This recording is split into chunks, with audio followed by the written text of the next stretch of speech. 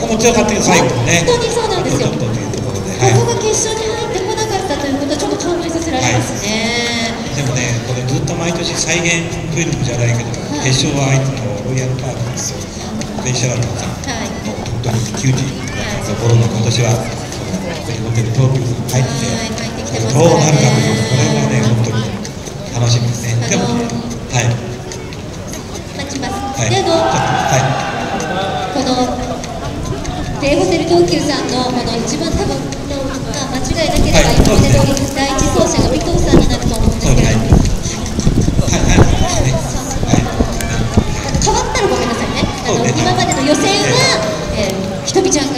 そう走です者ね、を務めてはい、ここで変えてくるかもしれないはい、そうですね。はいあのチームそれぞれ女性が一人ずつ入ってますけれども、何番目に女性を持ってくるかというのも、えーこれも見どころになってくるかと。たださっきの女性の決勝見てても、はい。女子だからゆっくりってわけではないというね、もうほらよ用意がいいですよ。もう見てホテルの。はい。もう準準備してます。準備してますね。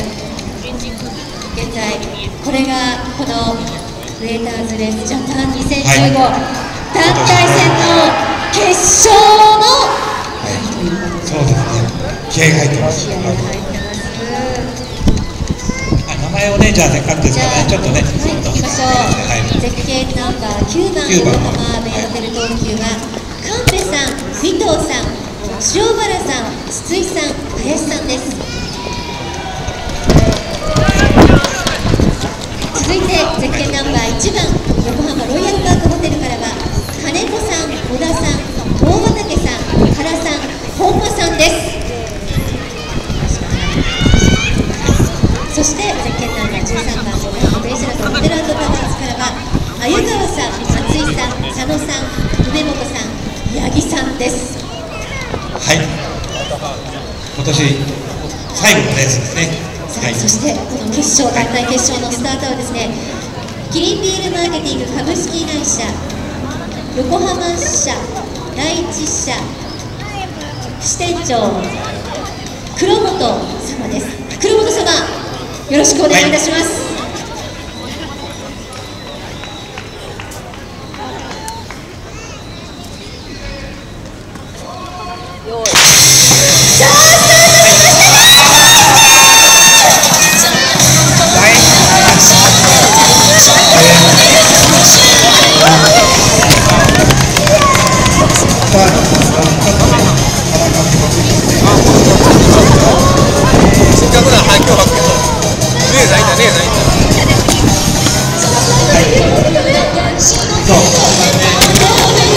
下がってもらいますかこれあるよねこれで学生がまた。変わりますもうタイムトライアルじゃないですからあとはもう本当にボトルをつなぐだけ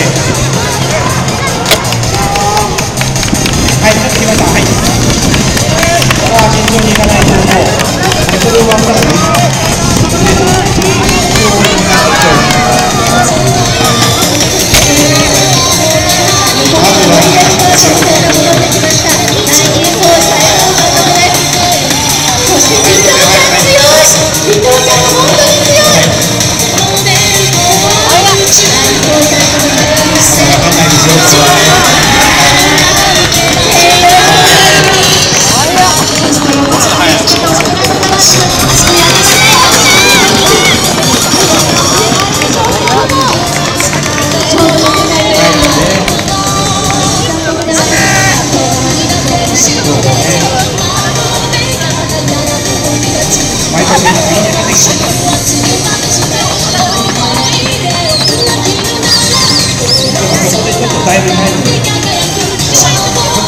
ますけどまだまだなまだそれを割らないで聞いて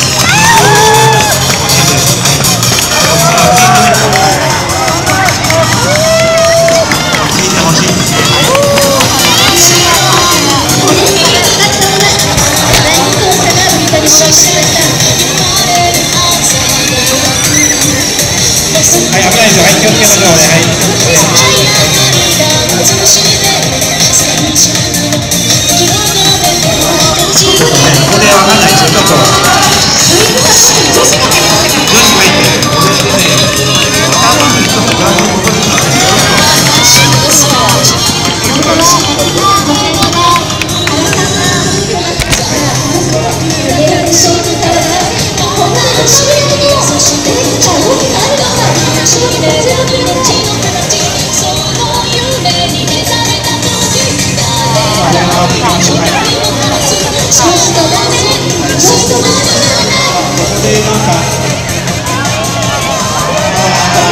そう小学で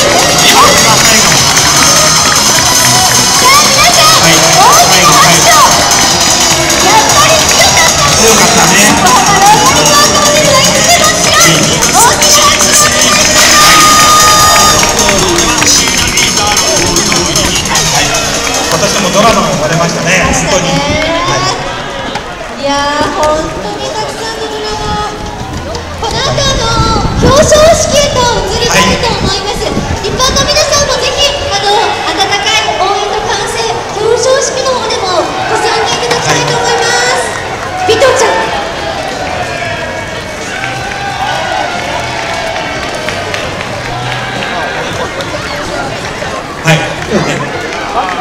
盛り上がってますね。ちょっと余裕させてあげましょうかね。何しろ、ロイヤルターゴーテル5連覇をね、阻止したのが、なんと僕はあの、ベンショノタウンホテルタワーズがね、ヒットもデッドヒート時代に、はい、来るかなと思ったら、やっぱし、よそこに伏兵が現れたというか、このままでいいかっていう人が、状態ですね。